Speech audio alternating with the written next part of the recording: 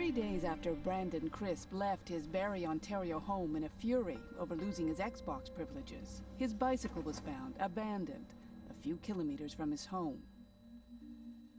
Brandon's friends joined the search as they tried to make sense of what had happened.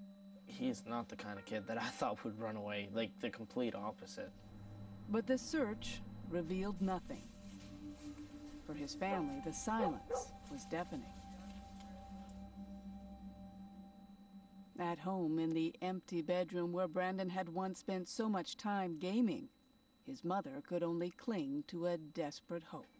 Is it hard for you to come in here? Do you? I actually lie in his bed sometimes at night Why? just to see if I can sense him.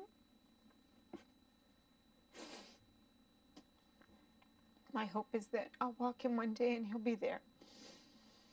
Hasn't happened yet. it wrenched my heart. It really did. I meet with so many parents who are in anguish over the um, problems of their sons or daughters.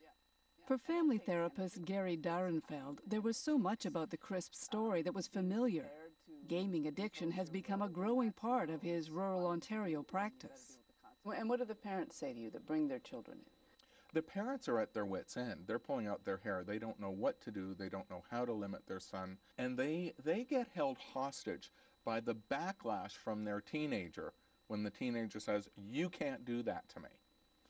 They're scared. I would get in pretty intense arguments with my mother. Daniel Fulmer was only eight when a friend introduced him to first person shooter games, and the tension in his family started building. I felt physically compelled to play, and every time I couldn't play, I was angry. I was upset. Fulmer's addiction, and he does call it that, soon affected everything family, school, friends. Studies show that one in 12 young gamers now meet the psychological criteria for addiction. For Fulmer, it's taken years to return to a point where he can play for fun. When I first would log onto the game, I would I would feel literally feel chills. And this is a phenomenon that many of my friends describe get what they call the shakes. So this is you with the gun. When I see the gun barrel, that's you. Yeah, And this is a sniper rifle. Yeah, but, okay, look, you're, you're hitting those guys and blood's spurting out and their heads are flying off. I mean, do you have the sense that you're actually killing somebody here? I feel anger when I hit one and they don't die. When they don't die. Yeah, so And when you hit one and they do? feels good. What's even weirder about it is that there's a, there's achievement experience involved. You kill 50 people, you get to level 2. You kill 100 people, you get to level 3. You kill 200 people, you get to level 4. And as you level, you're accomplishing things and getting rewards. And your brain is telling you, okay, I got a reward, I love this. The feeling you get as you just waste a whole group and you can just totally destroy them, that's fun. For the Barrie boys, Nick and Brandon, the rewards of Call of Duty soon surpassed everything. They started playing on the extreme setting of the game, one Xbox calls not for the faint of heart. The game mode that we played was hardcore search and destroy, and you only get one life in there. So, and it's hardcore, so it's like one bullet and you're dead. So it's very extreme. Very extreme and very popular. Call of Duty is one of the fastest selling games in the world. The kids from small town Canada soon found friends and competitors around the globe. I've played with people from England and uh, all over Europe, and even people out in Korea and Taiwan. It's pretty amazing. Even more amazing is the way some of them play. In this parentless universe where players talk to each other over the internet, you can be whoever you want to be and act in ways you'd never get away with at home.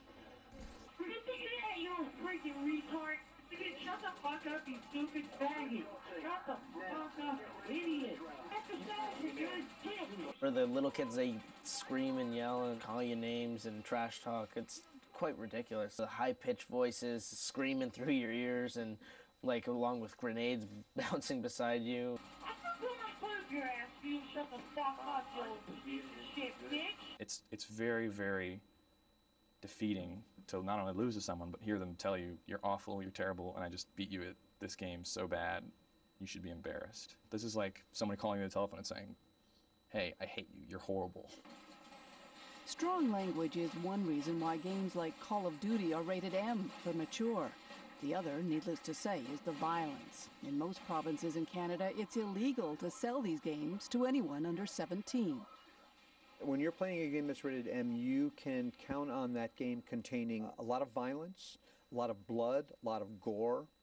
David Walsh is a child psychologist who recognized early the impact of violent games on children and pushed the industry to adopt the rating system. When the industry itself says that kids under 17 shouldn't be playing this game, then then a parent can be pretty sure that that you know it's not appropriate for a 10, 11, 12, 13 year old kid to be playing. And yet we know that certainly 13, 14, 15 year olds are playing those games. Yes, they are. Yeah, and I think part of it is that um, you know we haven't taken it as seriously as I think we should. Case in point, look at the game 16 year old Nick is playing. His weapon is a chainsaw. He bought the game himself. And survey after survey show that Nick is far from being alone. I like the glow of locust blood in this light. Kids playing bloody, gory games does concern the industry. That's why they brought in their rating system to begin with. But that doesn't mean they're eager to talk about it.